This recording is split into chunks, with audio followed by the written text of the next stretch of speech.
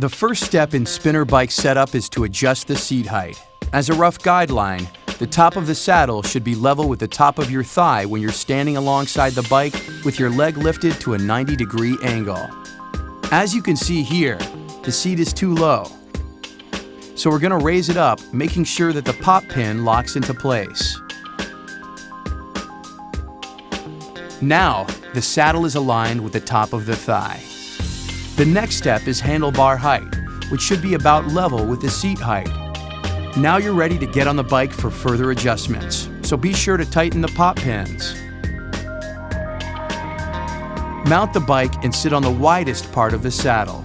Perform a heel check by placing the heel of one foot on the center of the pedal and lower that pedal to the bottom position.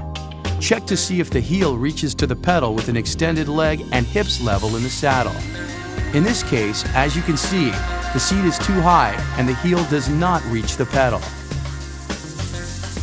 We'll now lower the seat a bit and retry the heel check. Again, be sure to lock in and tighten the pop pins before mounting the bike. Now the heel check is successful. Notice how the heel reaches the center of the pedal with an extended leg. In addition to the heel check, you want to check the degree of knee flexion when your foot is positioned on the pedal for riding. Place the ball of your foot over the center of the pedal. The ball of your foot is also the widest part of your shoe. With the pedal at the lowest position, your knee should be flexed 25 to 35 degrees. This works the same way whether or not you are wearing cycling shoes. If you're not clipping in, place your foot into the cage with the ball of your foot positioned on the center of the pedal. Again, you can see the 25 to 35 degree of knee flexion. Finally, we're going to adjust the seat fore aft, or the distance from the seat to the handlebars. The way we do this is by looking at the relationship between the knee and the pedal when the pedals are level. In this position, we want the front of the kneecap to be aligned directly above the center of the pedal. Here we see that the knee is too far behind the center of the pedal, which means the seat is too far back.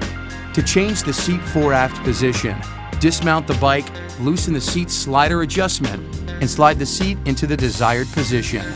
Tighten the knob before getting back on the bike. Mount the bike again and recheck the position. Be sure you're sitting on the widest part of the saddle with your hips level. Now we can see that the front of the knee is aligned directly above the center of the pedal. Now that you have your seat height, handlebar height, and seat fore-aft adjusted, Pedal slowly to be sure everything feels comfortable. Your shoulders and elbows should be relaxed. You can lower or raise the handlebars, depending on what feels comfortable to you. If you're new to riding, pregnant, or have any back concerns, raise the handlebars to a higher position.